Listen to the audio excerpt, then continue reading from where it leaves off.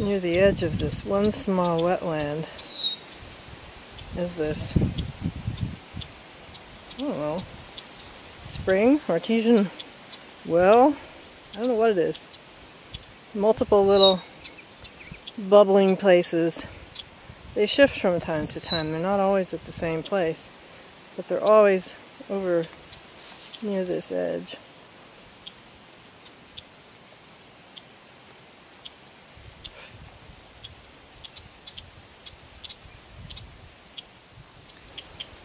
This is where this wetland overflows and creates this tiny little trickle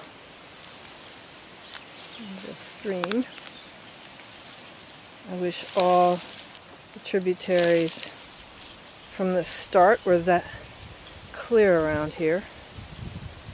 Goes off through, stays marshy all the way down.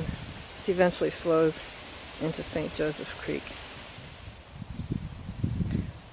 One more look at the bubbly place before I go. It's just churning away. All that sand comes up. Most of this ground is sandy, but that is pure sand in there.